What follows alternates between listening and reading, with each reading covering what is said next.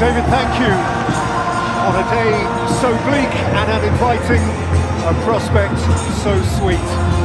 For style without compromise, for creative identity, for unflinching self-expression, City Spurs would seem to be the game.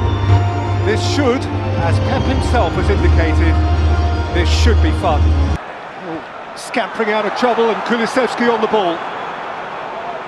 Looking early for Son. And Son is on his way. And Son Heung-min has squeezed it in! With Tottenham's first assault of the day! Well, I said it's going to be fun, and it's just begun.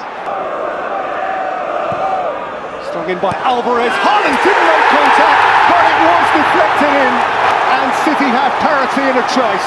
Son Heung-min with the touch at once to equalise his own goal. The gods of football give, and the gods of football take away. Jeremy Doku, Julian Alvarez, Phil Foden, 2-1 City. Deliciously intricate.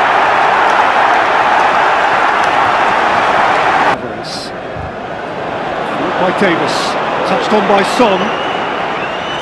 Giovanni Lo Celso! Smashing goal! An immaculate hit! And Spurs are level bang against the odds! And then ran into Rodri, and he looks rampant, and Haaland's on it, and Grealish scores! He feasts on his moment! He was hungry for that, all right. Johnson. Kulusevski in the 90th minute! Alderweireld Thackeray. They dared and they did! What is another diamond, a treat, a gem of a Premier League football match. There was no compromise, there was so much joy, there was so much mutual expression, understanding and appreciation, but it ends in a row, it ends in boos. Kulusevski with an heroic equaliser for Tottenham.